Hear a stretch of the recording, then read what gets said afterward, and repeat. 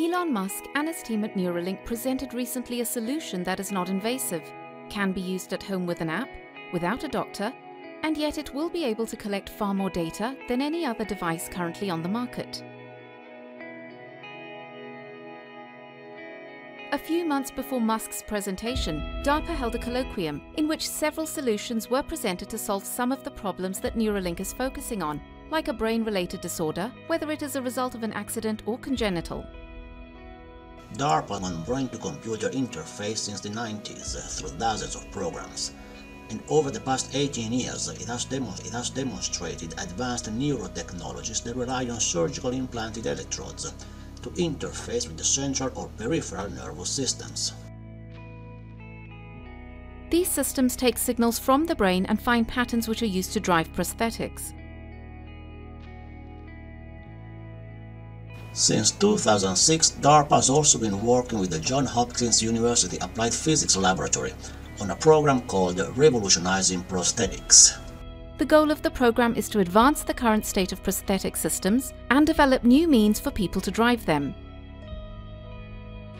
One solution was to develop a modular prosthetic limb system that has the speed, strength, range of motion, form factor, and weight of the 50 percentile military men.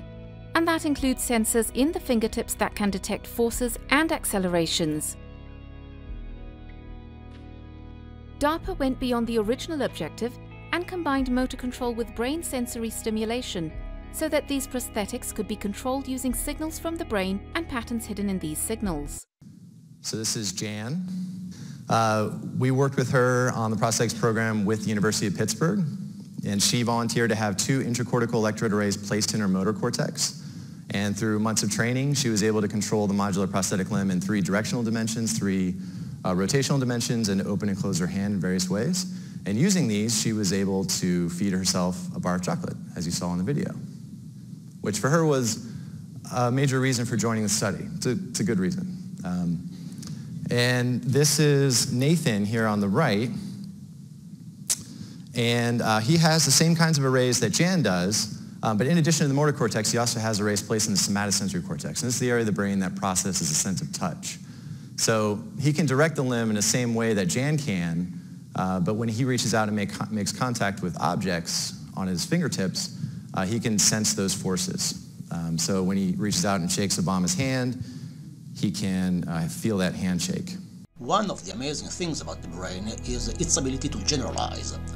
So, if a brain learns how to press a button or how to turn or rotate a knob, it can apply that learned skill to a variety of different objects and in a variety of different scenarios.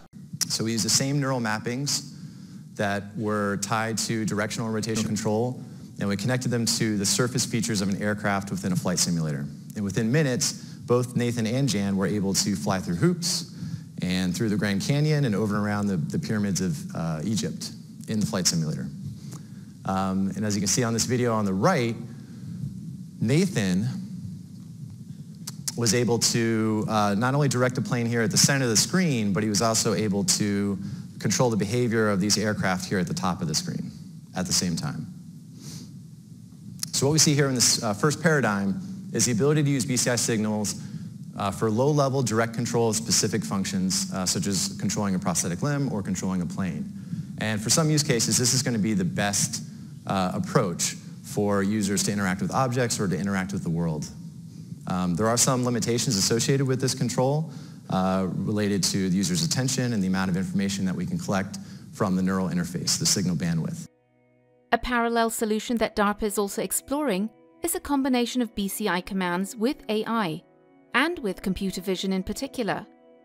In this scenario, a system can use a technology such as eye tracking to point to an object of interest and let the system use computer vision to identify the objects. Once the objects are recognized, the system figures out how to manipulate them and then generates a list of tasks that can be completed. The user then makes a selection with a go switch or with a gas pedal to initiate the system through the selected task. Here you see we have a computer vision sensor that's uh, scanning the workspace around the modular prosthetic limb and providing a video feed to the user. And on top of this video feed, we had some augmented reality overlays uh, that showed the user where it identified objects on this table, in this case balls. And when the user looked at the objects and sent a go signal with their brain computer interface, the system would then initiate this, this task, which is picking up the ball, um, and complete it without them having to think about the low-level controls associated with manipulating the limb. Now, one thing you'll notice is that this user is moving their arm. This is not a paralyzed individual, but they do have a direct neural interface, an electrocorticography grid, uh, which is providing us a BCI signal associated and correlated with arm movements. Now, this is a very simple BCI signal, so this doesn't require uh, an invasive interface. In some cases, it can require a non-invasive interface. Or if the interface, uh, the control system is simple enough, it can be done with just an eye tracker or gaze tracker, which we explored in this system here. So this is Glenn. Glenn has a robotic manipulator mounted to his wheelchair, and he's able to control that manipula manipulator using buttons and menus that are presented in his mixed reality headset. He also has a computer vision sensor over his shoulder that's scanning the workspace and identifying objects, in this case, uh, a coffee maker. And when it identifies that coffee maker, it will uh, present a context menu that he can navigate using the system and then select a particular task to be completed. So this kind of interface provides uh, a close coupling with the user. Uh, user and the interface is, is connected uh, pretty closely. Uh, provides an opportunity to provide a lot of useful visual content, including the uh, limb overlay that you see there as well, um, which could be useful for example, displaying what the task, how the task will be executed in advance of it actually being executed. So what we see here for this second paradigm is uh, a very simple interface driving an intelligent system, and we've been successful in demonstrating a number of different uh, applications and useful uh, uses of such a system. Um, but it is dependent greatly on the capabilities of the intelligent system, uh, namely the computer vision and the manipulation.